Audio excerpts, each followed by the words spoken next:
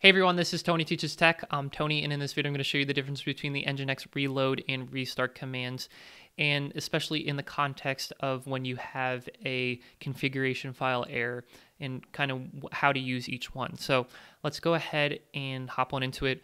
Um, what I do have here is a website at this IP address, and it's not really much of a website, it's just the PHP info um, at this website ending in .167. And what I'm going to do is log in via SSH to that web server and this this website itself is running on an Nginx uh, web server. So in order to demonstrate the difference between the restart and the reload command, what I'm going to do is go into the etc Nginx sites available directory, which um, there's this default configuration file here. And uh, what I'm going to do is just make a small syntax error here. Um, let's say we'll add an extra n here to the listen uh, uh line up here. So uh, we'll save that file and what we're going to do is do a system ctl restart nginx.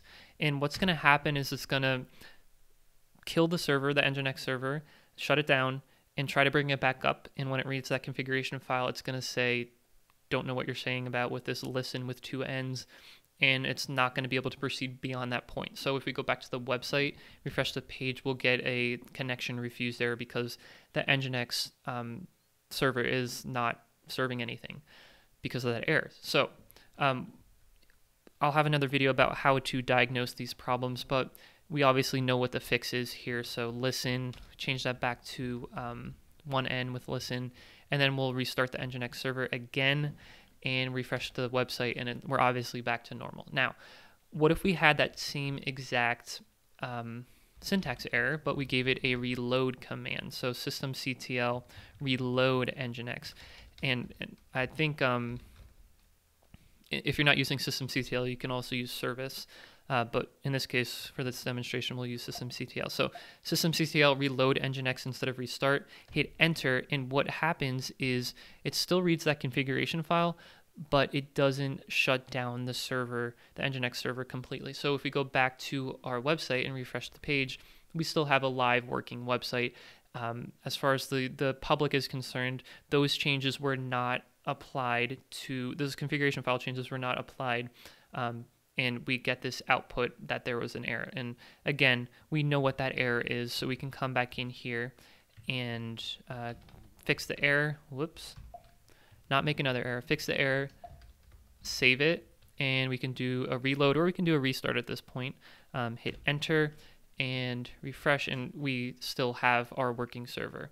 Um, the way that I recommend if you, I mean, there are cases when you need to do a restart versus a reload, and we won't get into that into this video because um, it won't be comprehensive. But if you do need to do a restart, what I recommend doing is to check the syntax of your Nginx configuration file, and we can do that with the Nginx uh, -t command. So let me show you what that looks like we know our configuration file is good at this point, and if we do nginx dash t, it's going to check our configuration files.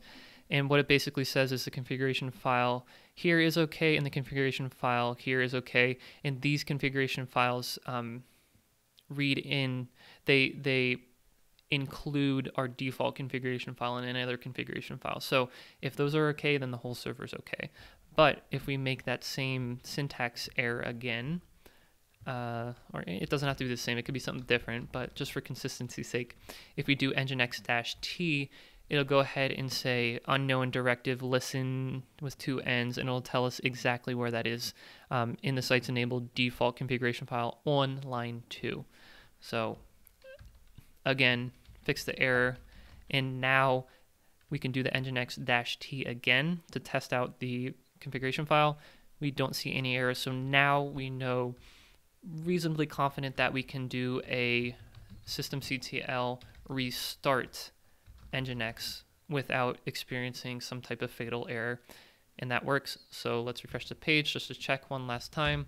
And our website is still up and running guys if you have any questions about reload versus restart in the context of nginx let me know in the comments below. I'll do my best to help you out. I want to thank you guys for watching. If you want to see more videos like this from me in the future definitely consider subscribing to this channel.